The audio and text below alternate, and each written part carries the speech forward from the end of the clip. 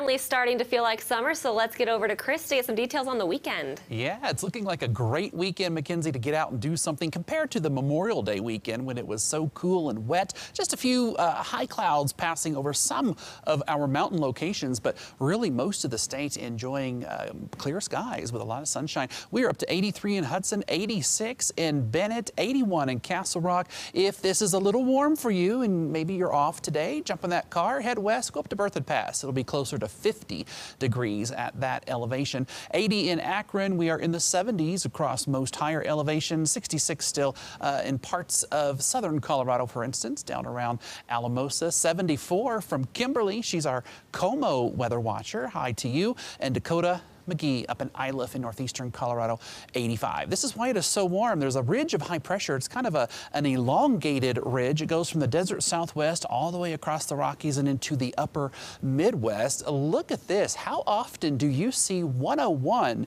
in Bismarck, North Dakota, but only in the 90s in Phoenix and Vegas? It is hotter in North Dakota right now than the desert southwest. Here's one pocket of heat. There's another one off to our southwest, and we're kind of sandwiched in between. The long range outlook from NOAA says more more of the same for the next couple of weeks. In fact, a large part of the country uh, will trend warmer than normal for this time of the year. Here's Futurecast for today. A handful of clouds over the higher elevations and maybe a stray shower or thunderstorm, but that's about all we will muster up today. Be clear tonight and it should be clear tomorrow morning when you wake up. Little bit different story for Saturday. High country, you have a slightly better chance to see a couple of those scattered afternoon showers and thunderstorms, but we think most of that action is going to stay in the higher elevations. And Sunday, mountain locations, your storm chance will be even higher. So keep that in mind if you're making mountain plans. 90s to near 100 today on the western border of Colorado, 70s and 80s in the high country, 80s to near 90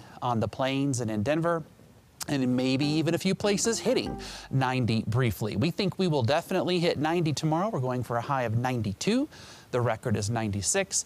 80s will take us Sunday, Monday, and into Tuesday, Mackenzie, with just a very slight chance for a couple of stray thunderstorms. But the bottom line for this extended period is it's hot in Colorado and mostly dry. So we need to pay attention to that fire danger.